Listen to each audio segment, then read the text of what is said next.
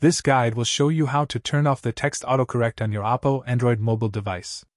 If you find this useful, consider subscribing and liking the video.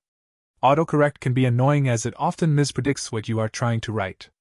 It also doesn't allow you to write text style shortened words or even slang words unless you have saved them to your phone's dictionary. Often, it's better to simply have the autocorrect turned off. To do this, first, go to Settings, then click on Additional Settings.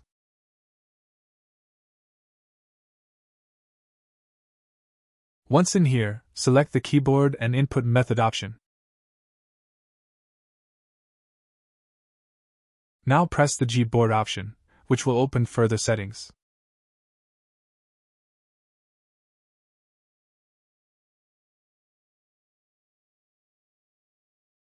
Next, click on Text Correction.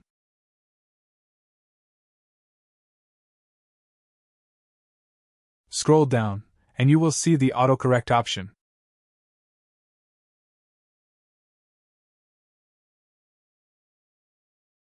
By pressing on the blue icon, you can turn the autocorrect on or off. You can always turn this back on or off at a later date. Thanks for watching.